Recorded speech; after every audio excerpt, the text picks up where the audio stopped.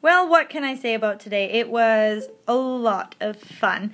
I was back at the morning show this morning at 5, so I've been up since about 4, and it's 7 o'clock right now, just after 7, and I just got back to the hotel. So today was a long day, but it was amazing. And so kind of my day just started off with, you know, attending the assignment meeting, and just researching some stuff for a little bit and then I spent the rest of my day just kind of, you know, taking in the morning show and what they do there and how it all works and, you know, just understanding the system and offering my help to whoever needed it.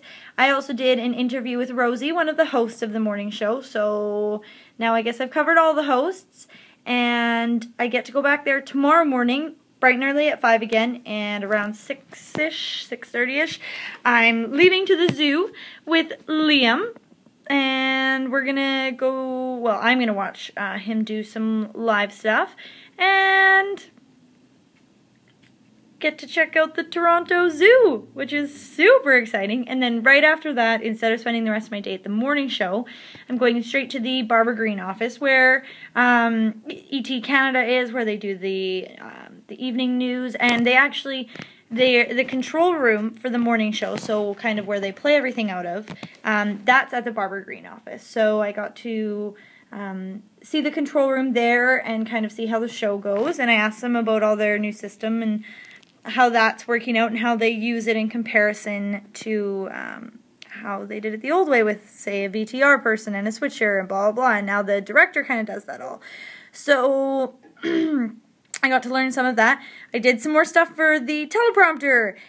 So that just like I said on my Facebook post, kind of further reinforces my prompter master skills like I had at school. Uh, this prompter is a little bit more confusing than the one at school, but I assume that's just because they're completely different and run on completely different systems. Um, and then today, unfortunately, was Jim Flaherty's funeral. Um, but for me, I got to use my transcribing skills and transcribe a bunch of interviews, put some more, you know, in point, out points in, and just um, pick all the good pieces uh, in different interviews with people like um, Trudeau and I, Rob Ford wouldn't talk. He just wouldn't talk. So I didn't tra- transcribe anything for Rob Ford, but there was lots of cool political leaders that I kind of got to see do that, like Olivia Chow um, and a few others.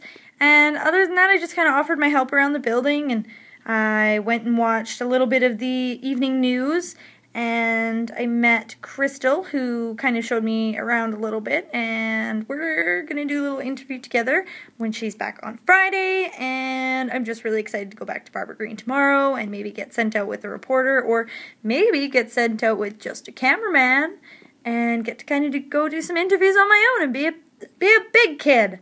I don't know. But I'm excited. So that's just some of the stuff that happened today. I'm trying to think of it all, but I don't know. Did I tell you I met Jess Moskaluke? I did. That was awesome. If I didn't tell you. If I did, well, I'm telling you again. Um, otherwise, yeah, I'm just really excited, and I didn't realize today's Wednesday and it's done, which means tomorrow's Thursday.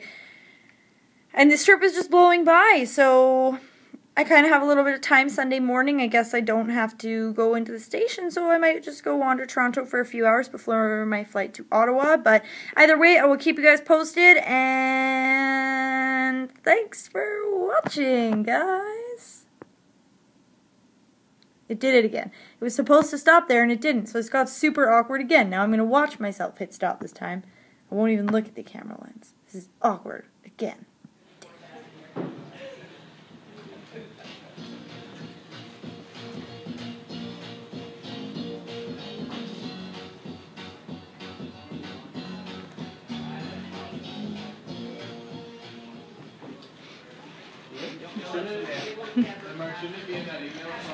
After the success of her debut EP and is currently on tour to promote her latest album, Light Up the Night.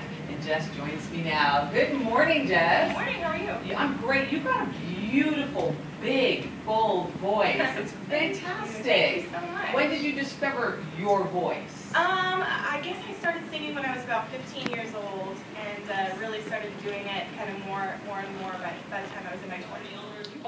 Mark, Donnie, and Paul Wahlberg, the siblings announced this week that their casual burger restaurant Wahlburgers will open this summer at 46 Blue little way in the heart of the city. They said the Toronto location is in a perfect hot spot. This is a story that we broke on uh, our entertainment reporter here, John Kennedy, broke uh, last summer uh, about the restaurant. Now we're learning where it's going to be, when it's going to open. And it got me thinking about some other celebrity-inspired restaurants that maybe, you know, we have Wahlburger. Yeah. So I thought of a couple. Here we go. as I- Here we go. Here we go. Fun. Uh, Angelina Jolie. Right? Okay.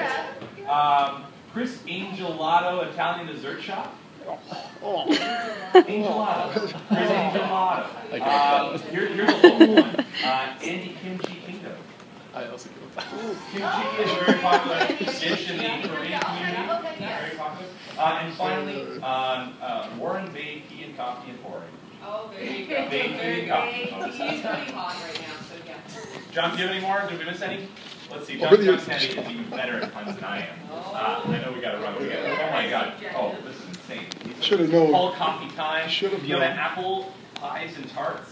On a bun. Oh my God. This needs to be a whole mall. We need to do Iced tea and coffee shop. Halle Berry picking farm. John Candy and bulk. Jack Lemonade, and finally, oh John, you're good at this. Meatloaf like moms. I don't know if I want to eat anywhere where meatloaf has been in the kitchen. Is this singer? Uh, You can see him with an egg paper in the back. This is the hard work going on behind the scenes. Chloe. Hashtag Let him go. Watch journalism. him go. Yeah. Hashtag I really do have a degree. Eight forty-six. We'll be right back with some, uh, it, it's it's fascinating to be in this field. I, I think you're you're so smart going into this field. Highly competitive, as you know. You know it's competitive, but I think that in school they teach you to be prepared for that because you know what? You're going to have people like me who are going to come along and didn't even go to school and who are going to get a job possibly because of their name. But what you got is you'll have the background, the know-how, doing these kind of internships this is how you get in, get your foot in the door, and ask as many questions as possible, and don't just be a bump on the, on the log, which you are not. You're not a bump on the log. So that's really good. Oh well, that's. I'm glad to hear that. You're very, very welcome.